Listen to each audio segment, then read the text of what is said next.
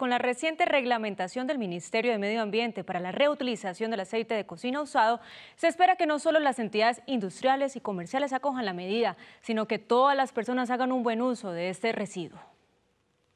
En Medellín, en la actualidad, la Secretaría de Medio Ambiente y en varias adelantan diferentes estrategias para que las empresas y sectores residenciales reciclen el aceite de cocina.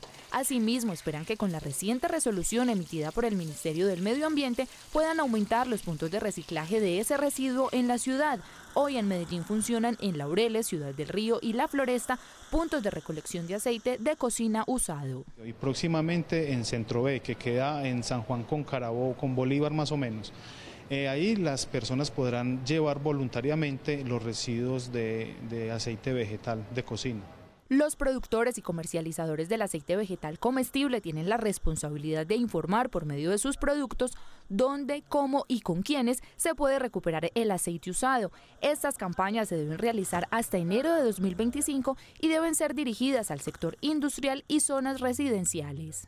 Hoy la recomendación para la ciudadanía es pues no los vaya a vertir sobre el alcantarillado, sobre los sifones en los hogares, sino que los pueden recoger en unos envases plásticos, los, los aceites como tal y entregarlos voluntariamente, mientras esa transición se da con la autoridad ambiental para que generemos con, con, los gestores las rutas selectivas donde puedan recogerse esos aceites vegetales. Por ahora, la resolución no impone sanciones a quienes no cumplan con la norma, situación que esperan las autoridades ambientales de Medellín sea reconsiderada. Los gestores en este momento vamos a unar esfuerzos con ellos, generar sinergias, trabajos con ellos, facilitarles todo ese plan y estrategia que ellos tienen para que la comunidad se entere dónde poder llevar responsablemente esos residuos como tal.